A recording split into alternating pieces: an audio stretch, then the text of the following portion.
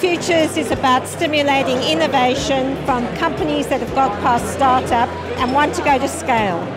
Getting companies that go to scale so they get foreign and local investment and employ highly skilled people is the next generation of advanced manufacturing for the great city and region of Geelong.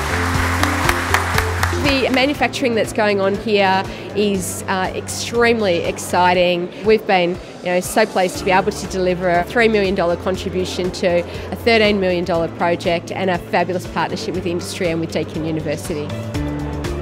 Our first product, FLAIM Trainer, is a system that enables firefighters to train in their own environment, in their own engine bay. We can push people into situations that they wouldn't normally see in their day to day lives and give them that realistic sense of immersion without having to have the dangerous chemicals involved with fire products.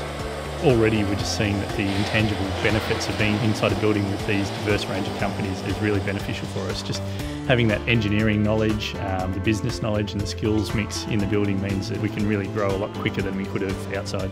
The HiQ Group is focused very much on textile treatments. So for HiQ Australia, starting on campus and then building manufacturing capability, having a home on campus makes a lot of sense.